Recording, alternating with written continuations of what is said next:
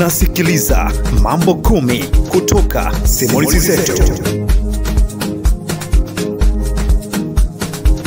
Mambo vipi, mtazamaji na mfuatiliaji wa chaneli yetu? E bwana, siku nyingine tena upo na mimi kijana wako Simon Rwambo, na leo nimekuletea mambo kumi ya kuweza kuepuka kufanya baada ya kuachwa na mpenzi wako. Katika kipindi kilichopita nilizungumzia mambo kumi ambayo unahitajika kuyaepuka kufanya katika mahusiano yako. Usifanye kamwe katika mahusiano yako, sababu yatakuja kukosti baadaye, yatakuletea shida, yatakuletea matatizo endapo utafanya hayo mambo. Kama hujaona video hiyo, basi tazama katika chaneli yetu, utakutana nayo. Sasa moja kwa moja tuweze kuangalia mambo kumi ya kuweza kuyaepuka baada ya kuachwa na mpenzi wako. Yaani usifanye kamwe endapo mtakuwa mmeachana na mpenzi wako. Nadhani sote tunafahamu ni raha sana kwenye mahusiano kama utapata mtu ambaye mnapendana kwa kila hali, kwa sababu hata wataalamu wa kisaikolojia wanasema ukiwa na mpenzi ambaye mnapendana, mnajaliana kila hali, itakuongezea siku za kuishi, lakini itakufanya pia uwe mwenye furaha siku zote. Lakini katika hali ya kawaida maisha yanabadilika. Uh, hivyo mara nyingi inakuwaga ngumu kidogo kumpata mtu ambaye mtaendana kwenda kuishi kwenye maisha ya ndoa au kwenye uchumba uh, ambao uchumba huo utaweza kuja kupelekea kuja kupata ndoa au kuoana. Kwa miaka karibuni hii ndoa zinaonekana zinavunjika sana, uh, sababu zikiwa nyingi sana. Uh, sababu hizo zinaweza kawa ni mabadiliko ya kiuchumi, inaweza kawa ni tamaa au ulemavu wa ukubwani, kwa sababu ajali uh, za barabarani zimekuwa nyingi sana kwa sababu tu ya kuongezeka kwa vyombo vya moto lakini pia kunaweza kuwa nisababishwa na ugumba. Uh, wengine wakienda mbali wakisaidi na kusema labda sababu kubwa ni, uh, ni umri. Unakuta wengine wanakuwa wameoa uh, mwanamke ambaye amezidi umri au mwanaume anakuwa uh, na umri mdogo au anakuwa na umri mkubwa kuliko yule ambaye mwanamke amemuoa. Kwa hiyo inaweza kusababisha uh, ndoa au mahusiano yaweze kuvunjika au kuweza kuachana kwa wale ambao walikuwa wanapendana. Kwa hiyo hapa ninaweza kwenda kuongelea mambo kumi ambayo wewe kama mtu ambaye umeachwa au umeachana na mpenzi wako usiweze kuyafanya kabisa, kwa sababu inaweza ikaleta jambo lingine ambalo hukutarajia.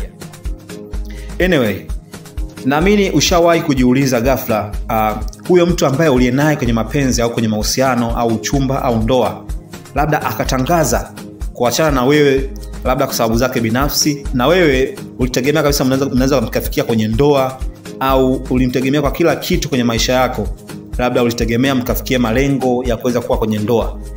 Ulishawahi kujiuliza kwamba akifanya au akileta mada ya kuachana na mkaachana, utafanya kitu gani? Umeshawahi kujifikiria jambo hilo? Ulishawahi kuchukua muda na kuweza kutafakari kwamba nikachana na mpenzi wangu au akiniacha, kitu gani nitafanya? Kwa sababu usipojiuliza kwa mapema au usipojipanga kisaikolojia, maana yake matokeo yake ndo yale, unakuta mtu anakwenda kujiua mwenyewe au anaweza kumuua mpenzi wake ambaye alimwacha. Unakuta ile mtu anafosi, kwa nini umeniacha, bila sababu yoyote, lakini kumbe angekuwa amejipanga, ingekuja kumsaidia baadaye, kwa sababu tu akili ilikuwa tayari imeshajipanga kisaikolojia na na kwa namna yoyote. Bila shaka kwa swali ambalo nimeliuliza uh, litakuwa na jibu kama hili. Kwanza kabisa, mkiachana kitakuwa ni kipindi kigumu sana kwako, na kama hutapata ushauri, basi huenda ukapatwa na msongo wa mawazo au hata kupoteza uhai wako. Basi kama umepatwa na matatizo kama haya ya kuachwa sasa hivi au penzi lako lipo katika njia panda, basi makala hii naamini kabisa ni muhimu sana kwako kwa kujiandaa ili usije kupata majanga zaidi mazito hapo baadaye. Sasa yafuatayo ni mambo kumi ambayo hautakii kabisa kuyafanya baada ya kuachana na mpenzi wako au kuachwa na mpenzi wako.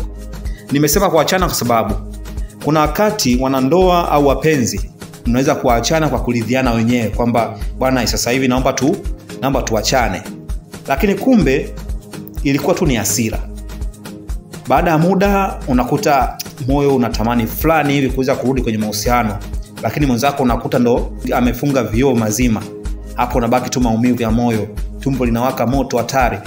Kwa hiyo huna namna, inabidi tu uendelee na maisha lakini sasa kupitia kile kipindi ambacho unapitia maumivu ni lazima uwe na namna ya kuweza kujidifendi mwenyewe. Namna ya kuendana na maumivu yale. Namna ya kuweza kupambana na maumivu katika kipindi kile kigumu. Njia hizo ni njia za kuweza kuepuka kuweza kufanya mambo haya yafuatayo. Kwanza kabisa kama umeachwa au umeachana na mpenzi wako epuka kulipiza kisasi. We mwachie tu mungu. Nakubali yote yaliyopita na kuruhusu kabisa yapite. Kwa sababu kulipiza kisasi kutakufanya wewe uanze kujishusha utu wako watu wengi wasichana wengi wametumika vibaya kwa sababu tu ya kutaka kulipiza kisasi. Unakuta mtu ameachana naye leo lakini anataka kulipiza kisasi labda kwa kutembea na mwanaume mwingine ili hali yule mwanaume ambaye ameachana naye ili tu aweze kuona apate naye maumivu. Wakati hajui pengine yule mwanaume aliyemwacha alikuwa hana mpango wowote hana tena hamu na yeye. Anajivutavuta kwa wanaume ili mradi tu aweze kupata mwanaume wa kuweza ku, kumwonyesha mbele ya yule ex wake kwamba sasa hivi nina mtu mwingine na mimi siwezi kukaa mwenyewe nikiwa single kwa sababu watu wengi wananipenda. Kwao hile ni kitu ambacho ni kibaya na kitakuja kukosti maisha yako kama ni msichana au hata mwanaume. Kwenda kujionyesha kwamba una mwanamke mwingine unakuta mwanaume labda ana ameachana mpenzi wake au ameachwa anakwenda kutafuta wanawake wengine. Hata kama wale ambao wanajiuza ili mradi tu aweze ku, kumkomesha yule ambaye ameachana naye. Ni jambo si zuri na haitakiwi kabisa kuweza kulifanya. Kama kweli unajitambua awezi kufanya jambo kama hili la kuweza kulipiza kisasi. Lakini jambo la pili ambalo unatakiwa kuepukana nalo kabisa baada ya kuachana au kuachwa na mpenzi wako ni epuka kusikiliza nyimbo za huzuni au kubembeleza. Wewe sikiliza nyimbo tu za kufurahisha na za kuchekesha za kuchezeka ili kuondoe mawazo watu wengi wamekumbwa kwenye msongo wa mawazo kwa sababu tu ya kusikiliza nyimbo za huzuni au zile za kubembeleza zile za polepole pole, za kuumiza moyo za kugusa moyo za kugusa hisia kipindi ambacho ameachana na mpenzi wake. Ile hali itakufanya uendelee kuwa uh, mdhoofu kuwa na huzuni kujisikia mnyonge muda wote kwa sababu tu ya nyimbo ambazo unazisikiliza. Wakati ukiachana naye au ukiachana na mpenzi wako tafuta nyimbo ambazo zitakufanya wewe uweze kucheza uweze kurudisha ile akili mindset yako iweze kukaa vizuri kuanza maisha mapya baada ya kuachana na mpenzi wako. Lazima akili iweze kujiseti kuelekea njia mpya ambazo umezichagua wote wawili. Kusikiliza nyimbo ambazo ziko polepole pole, ambazo zitakufanya wewe uendelee kumfikiria mpenzi wako itakuja kufanya wewe ubaki katika dimbu la mawazo kwa muda mrefu kitu ambacho hakikuwa na maana yoyote. Twende kwenye jambo la tatu. Jambo la tatu ni epuka kuandika au kuita mahusiano yako ni complicated au magumu. Kuna wale ambao wanaandika kwenye, kwenye social media zao au mitandao ya kijamii. Uh, kwenye status haandiki kama ni yupo single au uh, in relationship. Anaandika complicated. Kwa maana kuonesha mapenzi yake hayapo au mapenzi yao hayapo katika hali ya stability kwa maana yamesheki yame hawaelewani. Hiyo ndo maana kubwa ya kuwa mahusiano uh, yapo kwenye complicated status. Uh, sasa cha kufanya wewe sema tu mimi niko singo kwa sababu hiyo itakupa nguvu ya kujiamini zaidi. Na hata kama mtu akikufuata basi atakufuata kwa kuamini kwamba upo single lakini ukisema complicated maana yake hiyo itampa mtu uh, namna fulani ya, ku, ya kutojiamini hata kama alikuwa na lengo la, la, la kweli la kuja kufuata ili aweze kukuoa. Kwa hiyo wewe sema tu niko single. Na hii mara nyingi hutokea hasa kwa wanawake. Unakuta mwanamke anaulizwa una mwanaume yoyote? Alafu yeye anajibu tu kwamba ah, mimi ninaye mwanaume lakini au mwanaume ninaye lakini uh, sasa hivi hatuelewani kwa maana tumekosana hilo jambo linaweza likakujengea wewe uh, namna fulani ukakosa hata mtu bora kwako. Kwa sababu tu ya uh, kuto kujiweka wazi kwamba sasa hivi niko singo au tumeachana. Lakini jambo la nne uh, epuka kumsema vibaya yule ambaye umeachana naye. Hiki ni kipengele ambacho ni kigumu sana kwa watu wengi. Uh, unakuta mwenza wake anapoamua kuondoka na kwenda kuanza maisha mengine huku nyuma akikaa na marafiki zake anakuwa anawasimulia mambo mabaya mambo ambayo hata kama ya chumbani anakuta na, anaelezea madhaifu ya mtu ambaye ameachana naye. Ni kitu ambacho ni si kizuri katika maisha hata katika maadili yetu.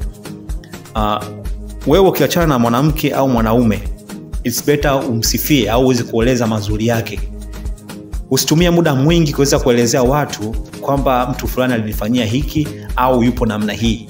Hiyo inajenga picha ambayo haileti picha mzuri katika jamii. Kwa sababu mazuri anayo lakini mabaya ambayo anayo kwa nini uliweza kukaa naye kwa muda wote huo mpaka kufikia wakati huu ambao mmeachana? Baada ya kuachana ndo unaona mabaya yake? Kwa hiyo ni vyema zaidi ukafocus kwenye mambo mazuri ambayo amekufanyia kuelezea kwa watu. Elezea kwa namna kwamba umeachana naye lakini hakuwa mbaya kwa kiasi kwamba uh, kufikia kama ni maadui. Mabaya anayo na udhaifu anao. Usiweze kuweka wazi. Unakuta mtu anamjadili mtu anaelezea kitu ambacho hakipo sahihi eti kwa sababu tu uh, yule mtu anaachana naye. Au aidha ana hasira. Anaeleza kwa watu ili mradi tu watu waweze kumchora kwa picha mbaya lakini si vyema katika jamii yetu na si vyema uh, kwa namna yoyote hata kama mmeachana kwa asira kwa kugombana si vyema kuweza kuyaanika mabaya ya mtu kwa sababu tu ya kuachana kwenu. Lakini pia jambo la tano tunazungumzia jambo la kuepuka endapo utakuwa umeachana na mpenzi wako swala la kutuma meseji kwa bahati mbaya kwa mpenzi wako kwa, kwa mwenza wako kwa mtu ambaye umeachana naye. Kuna watu wakiachana na wapenzi wao watatumia namna fulani ya kuweza kutuma meseji kwa kujifanya amekosea ili hali ile jambo alikuwa amelikusudia kabisa kuweza kulituma meseji kwa yule ambaye ameachana naye. Kwa jambo la tano epuka kutuma meseji kwa kujifanya umetuma kwa bahati mbaya kwa mtu ambaye umeachana naye. Unakuta mtu anakutumia meseji uh, mambo au habari au nilitaka nifike hapo lakini sijawahi. sija alafu ukimtafuta anakuambia nilikosea nilikuwa namtumia mtu mwingine. Ili hali zile meseji zilikuwa zinatumwa kwako. Ni kitu ambacho kinafanya wewe uonekane bado unamtaka yule mtu. Kwa hiyo unatumia mbinu ya kuweza kutuma meseji ili mradi tu kuweze kupata mawasiliano naye tena. Labda unafikiri nikitoa meseji hii basi huyu mtu anaweza akajirudi tukaanza kuwasiliana na baadaye tukarudisha mahusiano yetu. Lakini njia hiyo si njia sahihi kwako kuweza kuifanya. Cha kufanya wewe kaa kimya. Kaa kimya kabisa mpaka kutafute yeye mwenyewe. Hilo itakuwa ni njia mzuri kwako ya kuweza kuanza maisha mapya. Na endapo hajakutafuta maanake uone kabisa kwamba haukuwa na umuhimu wowote kwake na ndio maana yupo tayari kupoteza mahusiano ambayo yalikuwepo hapo mwanzo na mkaamua kuachana kwa hiyo wewe songa mbele usitafute namna nyingine ya kuweza kupata kuwa na contact naye kwa namna yoyote. Sambamba na hilo la kutuma message, kwa bahati mbaya unaweza kukuta mtu mwingine anafuatilia mitandao ya kijamii ya mpenzi wake wa zamani yani ex wake. Ni kitu ambacho kitakuja kugharimu baadaye kikakufanya uwe na asira zaidi. Cha kufanya wewe tumia tu njia ambayo ni rahisi. Unaweza ukablock akaunti za yule mtu ambaye umeachana naye ili tu usione kitu chote ambacho anakiposti. Kwa sababu kuna vitu vinaweza vikafanywa kwenye akaunti yake na wewe ukapatwa na asira zaidi au ukaumia zaidi. Kwa mfano chukulia hii. Umeachana na mpenzi wako alafu baada ya siku moja au siku mbili unakuta mtu ameposti picha ya mwanamke au mwanaume mwingine akiwa anaweka na makopakopa kuonyesha kwamba kuna mahusiano ambayo ameanzisha. Wewe lazima hata kama haukuwa na mapenzi yale ambayo ni ya ndani zaidi lakini bado kuna maumivu ambayo utakuwa nayasikia moyoni kwamba uh, mwenzangu tumeachana juzi tu lakini tayari ameshaanza ku, kuwa na mahusiano na mtu mwingine. Ni kitu ambacho kitakuja kukuumiza na kufanya huwe na stress zaidi. Yaani hapo ukiona tu posti hiyo maanaake ni moja kwa moja hasira na maumivu ya, ya tumbo yataanza kujitokeza. Ile hali ya kiungulia moyoni naamini kabisa unaifahamu. Kwa hiyo kuepukana na hilo wewe usifuatilie kabisa mitandao ya kijamii ya mpenzi wako wa zamani ex wako ili hali bado unamkumbuka. Ni vyema tu ukamblock na uweze, usiweze kuona na usiweze kuona zile posti zake ambazo anaziposti mara kwa mara au kwa wakati huo. Jambo la sita epuka kujibadilisha mwonekano wako. Yaani kama mwanaume au mwanamke basi baki kwenye mwonekano wako ule wa zamani. Kuna wale ambao unakuta uh, mwanamke ameachana na mwanaume leo lakini atafanya namna yoyote aweze kuonekana yupo tofauti na vile alivyokuwa zamani. Hapa ninaomba tuelewane vyema.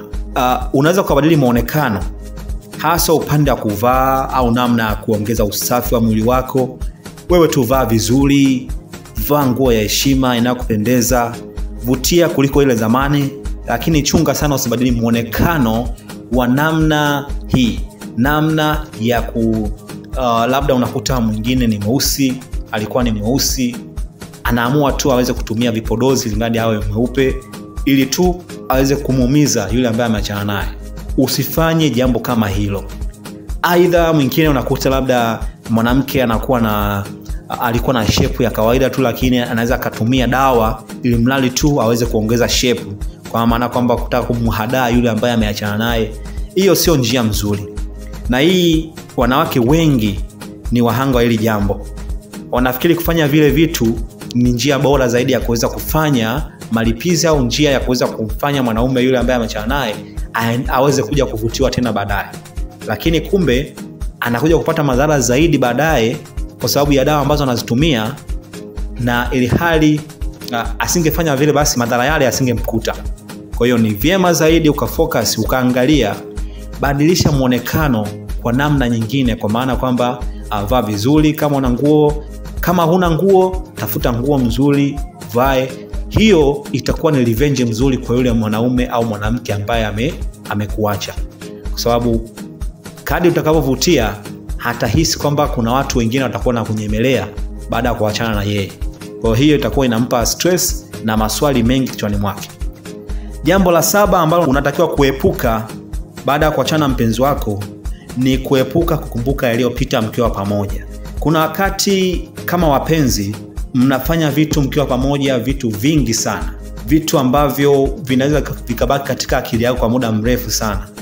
Sasa ukiwa unakumbuka mara kwa mara baada ya kuachana na mpenzi wako unakumbuka labda mko bichi mko ndani chumbani na mambo mengi ambayo umeyafanya pamoja hali hile ya kukumbuka yale yaliyopita yatakufanya wewe uweze kudumu katika msongo wa mawazo kuwa na huzuni muda wote na akili itakuwa inaumia kuweza kukumbuka yale matukio na kuhusisha tendo lenu la kuweza kuachana.